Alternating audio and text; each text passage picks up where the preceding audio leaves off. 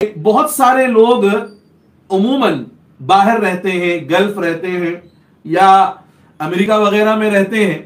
तो इन लोगों के पास शायद वो सहूलियत, सहूलत नहीं होती कि वो वहाँ पर कुर्बानी अदा कर सकें। या अगर होती भी है तो बहुत सारे लोग ये चाहते हैं कि यहाँ कुर्बानी की जाए ताकि उस गोश्त से यहाँ अपने रिश्तेदार जरूरतमंदों में उसको इस्तेमाल किया जाए। तो ये याद रखना चाहिए कि आप जिसकी तरफ़ से कुर्बानी कर रहे हैं, वो जिस इलाके में है, और आप जहाँ कुर्बानी उसके नाम से कर रहे हैं, दोनों का अयाम कुर्बानी में होना यह बहुत ज़रूरी है।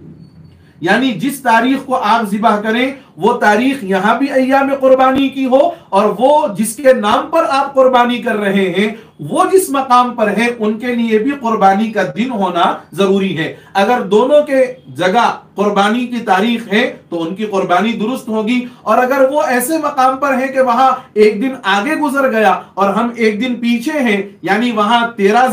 जिलहज है और हम बारह जिलहिज को उनके नाम से कुर्बानी करेंगे तो फिर ये कुर्बानी उनके नाम से दुरुस्त नहीं होगी।